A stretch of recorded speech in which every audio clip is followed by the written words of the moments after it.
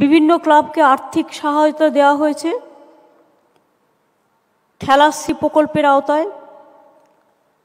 কত লক্ষ ক্লাবকে আমরা হেল্প করেছি এর মধ্যে?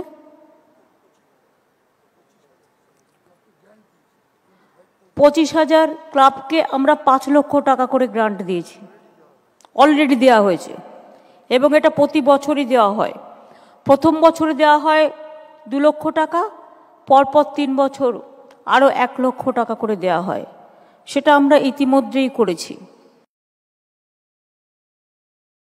শুধুমাত্র দান খয়রাতি করার জন্য এবং কিছু ক্লাবকে হাতে রাখার জন্য আমাদের মুখ্যমন্ত্রী রাজ্য সরকারের কোষাগার থেকে একশো পঁচিশ কোটি টাকা জাস্ট উড়িয়ে দিলেন। এমনভাবে খরচা করলেন যেন টাকাটা তার পৈতৃক সম্পত্তি বিক্রি করে এসেছে, অথবা টাকাটা কোনো একজন কয়লা চোর বা বালি চোরের টাকা। এটা আমার, আপনার মতো সাধারণ করদাতার টাকা।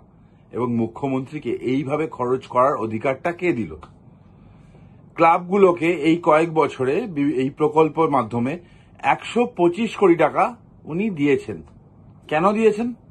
আমাদের মুখ্যমন্ত্রী বলেন, রাজ্যের কাছে টাকা নেই, রাজস্বের নাকি ঘাটতি। আমরা দেখছিও, পশ্চিমবঙ্গের ওপর আজকে ঋণের বোঝা প্রায় পাঁচ লক্ষ কোটি টাকা। বাম আমলে ছিল দেড় লক্ষ কোটি টাকা এবং শেষ দশ বছরে সেটা বেড়ে হয়েছে প্রায় পাঁচ লক্ষ কোটি। মানে একটা বাচ্চা যদি জন্মায়, তার ঘাড়ের ওপর ঋণের বোঝা হচ্ছে পঞ্চাশ হাজার টাকা। এরকম একটা রাজ্যে আছি আমরা, যেখানে রেগুলার কর্মসংস্থান নেই, যেখানে শিল্প নেই। প্রধান কাজের সুযোগ বলতে একশো দিনের কাজ, যেটা আমাদের মাননীয় মুখ্যমন্ত্রী গর্ব করে বলেন, একশো দিনের কাজে আমরা নাকি প্রথম। এরকম একটা রাজ্যে একশো পঁচিশ কোটি টাকা ক্লাবগুলোকে দিয়ে দেওয়ার অধিকার আমাদের মুখ্যমন্ত্রীকে কে দেয়? সরকারি চাকরি ক্ষেত্রে প্রায় পাঁচ লক্ষ শূন্য পদ। শিক্ষক নিয়োগ হচ্ছে না। সরকারি কর্মচারীরা কেন্দ্রীয় হারে ডিএ পাচ্ছে না। সপ্তম পে কমিশন পশ্চিমবঙ্গে চালু হচ্ছে না, কারণ পশ্চিমবঙ্গ সরকারের নাকি টাকা নেই। কিন্তু দান খয়রাতি করার জন্য আছে। সে মাননীয়া করুক, তাতে আমাদের কোনো অসুবিধা নেই। মাননীয়া নিজের জমি জমা বিক্রি করে তার আত্মীয় স্বজনের বাড়ি বিক্রি করে, যা খুশি করতে পারে।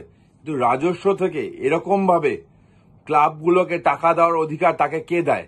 এটা তো তার টাকা নয়, এটা সাধারণ মানুষের টাকা। এবং যে ঋণের বোঝাগুলো উনি রেখে যাচ্ছেন, তার হিসাব কে দেবে?